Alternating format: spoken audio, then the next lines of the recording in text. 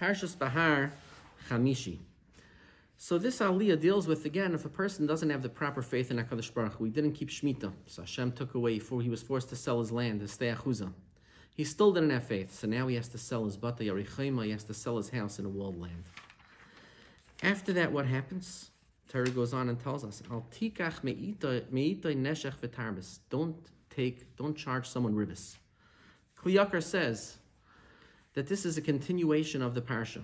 Why does the Torah mind? Why does Hashem care if someone charges ribis? It's the way of the land. You buy a house, you get a mortgage, everyone's happy. No one cries when they get approval for their mortgage. So why can't I charge someone ribis? It's, it's the way of business. Kli Yakar says, you know why Hashem doesn't want you charging ribis? Because he really doesn't want a person collecting ribis. Because then you have a fixed income. If you have a fixed income, so I don't need Hashem. I get every month my 10%. I have no, I don't need Hashem to help me. Hashem wants you to put your money in pragmatia, he says. Put your money in the markets, and then all of a sudden you're praying to Hashem every day. How's the market been today, as we've seen very recently?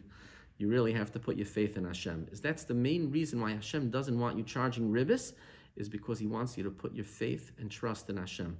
So I'll tell you an interesting thought I had. Bata getting back to that. You have a house in a walled city.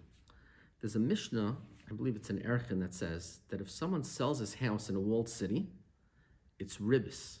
It's really, you're, you're violating the prohibition of ribis, except the Torah allowed it. Why is that? Let's think about it. I sell you my house in a walled city, and comes a year later, you pay me back for the house. In the meantime, I lived in your house for a year. So technically, I lent you $100,000. I purchased the house, but that's not a purchase. A year later, I'm getting back my $100,000 and I had a very nice house for a year. That's my interest. So the Mishnah says that it's pure ribis, except the Torah allowed it. Why is the Torah allowing someone to charge ribis? Two psukim later, al tikach me'itai, don't take ribis. So I was thinking perhaps, why did this person lose his house? He didn't keep Shemitah. He didn't trust in Hashem. He didn't trust in Hashem. He was forced to sell his house. The mitzvah of ribis, again, according to the Kli Yakar, is a mitzvah all about trusting in Hashem. Don't have that fixed income. Trust in Hashem.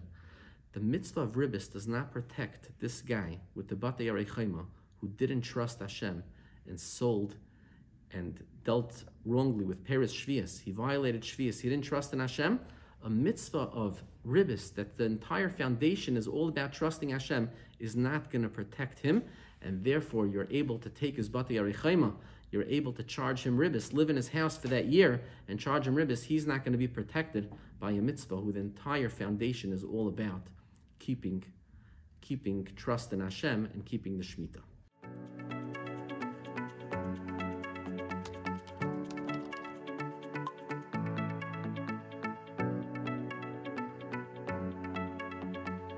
You